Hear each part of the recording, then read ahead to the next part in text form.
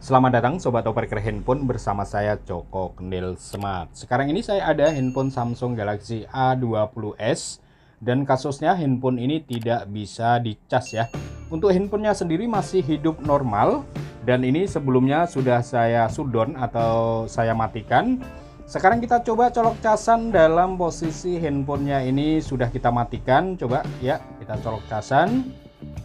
Dan di sini tidak ada respon ya, biasanya ada getar seperti itu, kemudian muncul lambang petir. Tetapi di sini tidak ada respon sama sekali, tidak ada tanda-tanda bahwa handphone ini bisa mengecas. Oke. Kemudian uh, kita coba uh, apa namanya? Kita ganti kabel dulu ya. Kita akan cari casan lain. Kita gunakan casan lain coba kita colok. Tetap sama, tidak ada respon, tidak bisa mengecas ya. Oke dan kemudian kita akan segera bongkar dan nanti kita akan lihat untuk konektor casnya ya. Di sini bisa kelihatan. Ini lumayan kotor dan menghitam ya. Oke kita langsung bongkar saja. Dan nanti kalau memang konektor casnya rusak kita bisa ganti. Atau harus kita ganti satu blok ya. Atau satu set papan casnya. Nanti kita lihat saja setelah kita bongkar dan kemudian untuk Samsung Galaxy A20s ini, backdoornya ini ada lemnya ya, jadi kita harus panasi dulu seperti ini. Kita harus panasi gunakan blower. Walaupun sebelumnya handphone ini sudah pernah dibongkar, sebenarnya ini untuk backdoornya sudah tidak lengket-lengket amat, tetapi ini hanya urut-urutannya saja ya. Jadi buat teman-teman pemula ketika mendapat kerjaan Samsung yang tipe ini, jadi urut-urutannya untuk membongkar backdoor belakangnya itu kita harus panasi dulu. Kemudian kita siapkan untuk plastik mika tipis seperti ini ya. Ini cukup banyak. Ketika kita beli temper glass ini ada seperti ini ya, ada plastik seperti ini. Kita bisa selipkan seperti ini ya. Ini sudah memang sudah terlepas ya. Seperti yang saya omongin tadi, handphonenya sudah pernah dibongkar, tapi memang harus kita panasi ketika handphone ini belum pernah dibongkar ya jadi itu hanya sekedar untuk urut-urutannya saja. Oke ini backdoornya sudah kita lepaskan seperti ini. Kemudian di sini ada beberapa baut. Bisa kita lepaskan bautnya untuk melanjutkan ke tahap selanjutnya. Kita bongkar saja.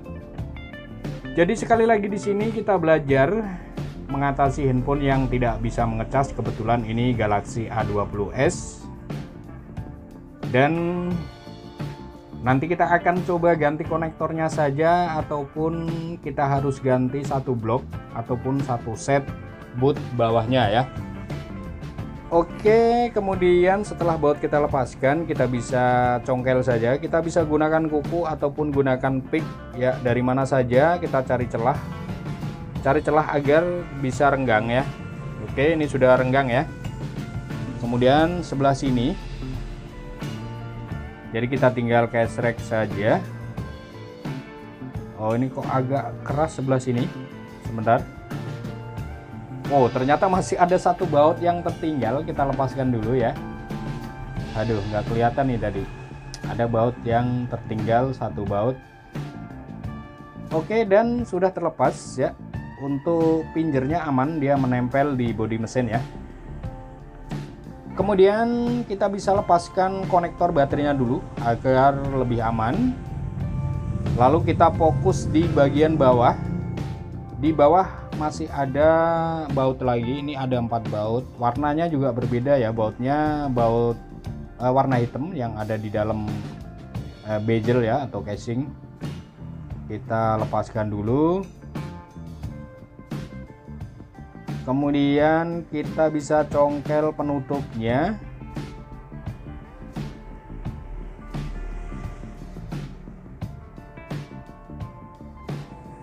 Jadi sebenarnya penggantian papan konektor cas itu cukup sederhana cukup mudah ya.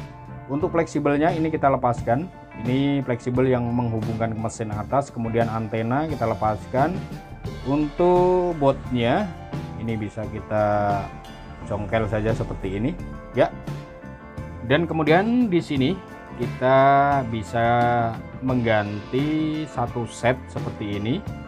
Ataupun kita juga bisa mengganti konektor casnya saja ya. Jadi terserah teman-teman enaknya yang seperti apa mengganti satu set ataupun mengganti konektor casnya saja. Ya Oke kemudian kita akan siapkan patnya ya karena kita akan ganti satu set papan casnya. Di sini saya siapkan ada dua ya ini.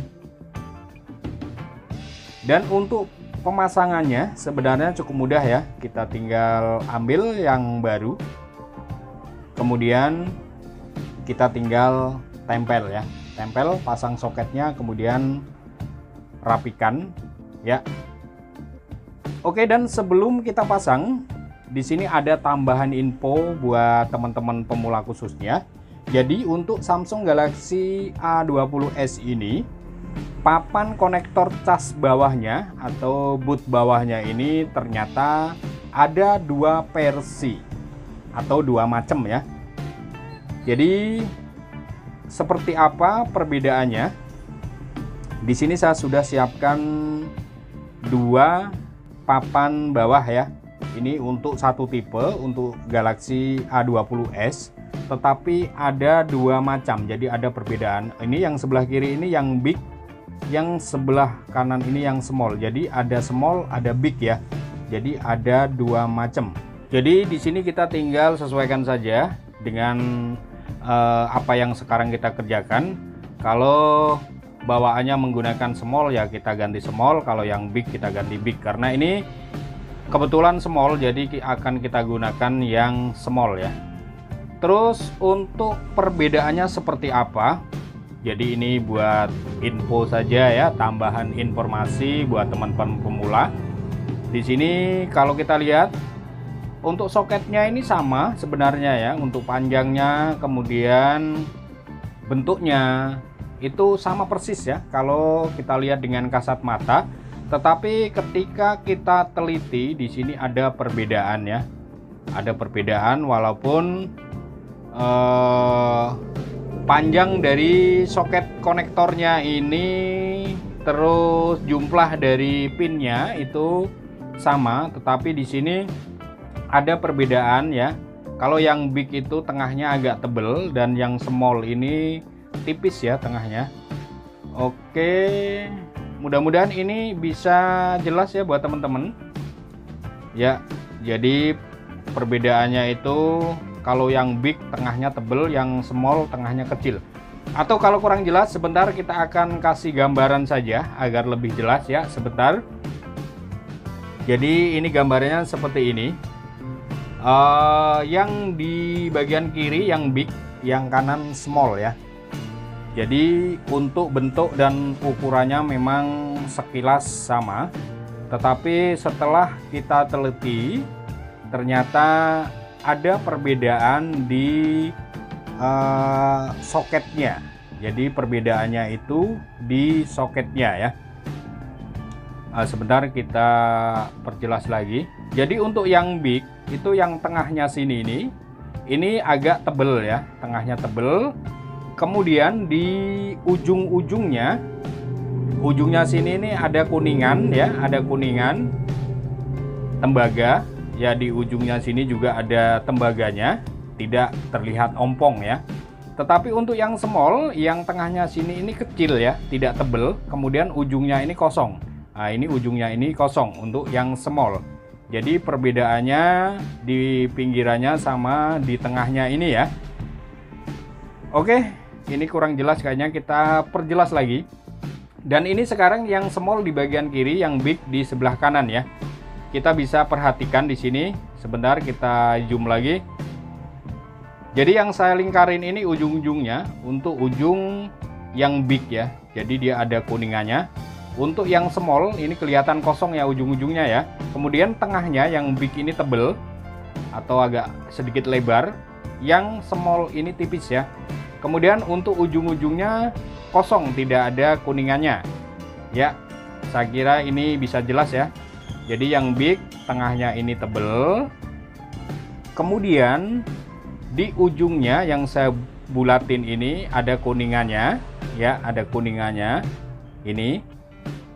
Dan yang small itu tengahnya tipis ya nggak tebel tipis lalu di sini kelihatan ompong tidak ada kuningannya ya di ujungnya oke mudah-mudahan ini jelas ya Oke, kalau sudah jelas kita akan lanjut lagi seperti yang saya omongin tadi karena yang kita kerjakan kebetulan ini yang small. Jadi untuk yang big saya simpen lagi.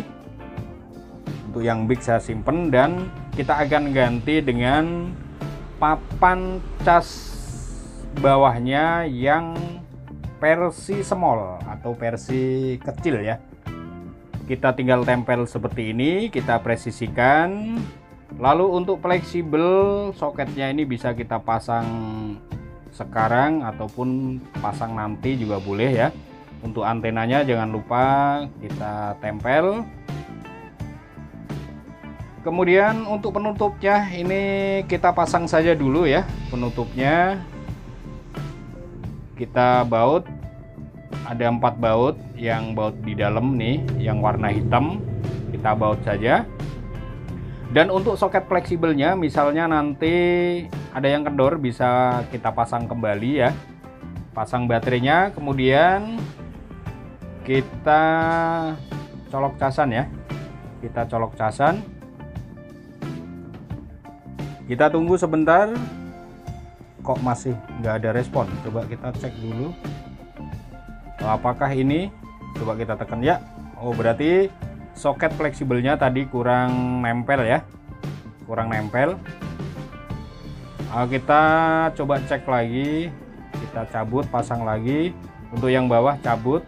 Kemudian kita pasang lagi ya. Mungkin kurang presisi ya kurang nempel ya kemudian soket baterainya kita pasang lalu kita coba lagi colok casan. Ada getar dan kemudian ada tanda petir ya situ. Kita tunggu sampai ada logo presentasi baterainya sudah ada. Berapa persen ini? Ada 26 persen ya. Jadi yang tadi itu konektor dari fleksibelnya kurang pas ya kurang presisi. Oke dan ini sudah beres. Ya kita tinggal rapikan saja. Kita cek uh, ini antenanya kurang pas ya. Kurang pas pada tempatnya. Kita rapikan seperti ini. Dan kemudian kita tinggal pasang casingnya ya. Tinggal kita baut ulang Oke sampai di sini. Sekian dulu. Terima kasih dari saya Joko Kendil Smart semoga video ini bisa bermanfaat. Kita ketemu lagi di video selanjutnya. Akhir kata salam operator handphone